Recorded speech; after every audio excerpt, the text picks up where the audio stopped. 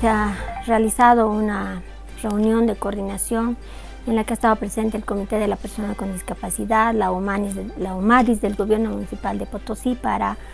realizar diferentes acciones para que estos pacientes sean, por un lado, eh, sean mm, restituidos al grupo familiar y eh, eh, de la misma manera a través de, en el caso de uno de los pacientes de sexo masculino, el gobierno autónomo municipal de Colchacá pueda asumir acciones para ubicar a la familia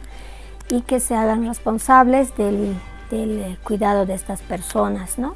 lo cual también ah, acentúa la situación de estas personas porque se sienten abandonadas sin el acompañamiento de, sus familias. ¿no?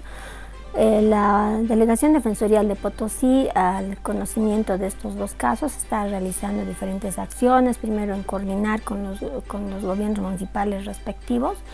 y también con las eh, eh, instituciones llamadas por ley, en el caso del